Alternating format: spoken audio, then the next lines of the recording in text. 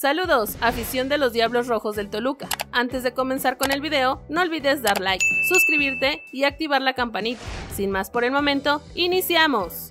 América contra Toluca en vivo, a qué hora juegan y dónde ver la Copa Sky 2022. América y Toluca se enfrentan en el Estadio Azteca por la jornada 3 de la Copa Sky. Sigue todos los detalles del encuentro aquí. Este lunes 19 de diciembre, el Club América y Toluca se verán las caras por la tercera fecha del grupo de la Copa Sky 2022 en el Estadio Azteca. El partido está programado para que inicie a las 19 horas tiempo del centro de México y lo podrás ver a través de las señales de TUDN y Sky Sports. El Club América se sigue preparando al máximo para llegar de la mejor forma al inicio del torneo Clausura 2023. Este jueves debutó en la Copa Sky frente al equipo de los Rayos del Necaxa, dentro de la actividad de la fecha 2, el cual terminó en empate a tres goles celebrado en la cancha del Estadio Nemesio 10. Ahora los pupilos de Fernando Ortiz se verán las caras con los Diablos Rojos del Toluca como parte de la jornada 3 del certamen amistoso que les servirá a los participantes como preparación de cara a la siguiente campaña del máximo circuito del balompié azteca. Para este compromiso a llevarse a cabo en el infierno, el estratega argentino podrá contar por fin con los futbolistas que fueron convocados por la selección mexicana para el Mundial de Qatar 2022. Guillermo Ochoa, Néstor Araujo y Henry Martín. El primero de ellos deberá primero solucionar su renovación, pues su contrato culmina a finales de diciembre. Cabe mencionar que estos partidos deben ser aprovechados al máximo por algunos jugadores que se encuentran en la cuerda floja, sobre todo extranjeros como Federico Viñas, Bruno Valdes, Brian Rodríguez, Pedro Aquino, Leo Suárez, por mencionar algunos. En las semifinales del torneo Apertura 2022, los Escarlatas eliminaron a las Águilas por marcador global de 3 a 2. Aquella noche marcó un nuevo fracaso para los capitalinos, por lo que ahora buscarán cobrar revancha, aunque sea en una copa de pretemporada. Tras ver los primeros encuentros de ambas escuadras, la balanza podría inclinarse a favor del América, ya que después de tantos empates sino con pocas anotaciones, los azulcremas fueron los primeros en hacer tres. El equipo mantiene la idea futbolística del Tano Ortiz, mientras Luis Pérez seguramente volverá a probar diferentes alineaciones por petición de Ignacio Ambriz.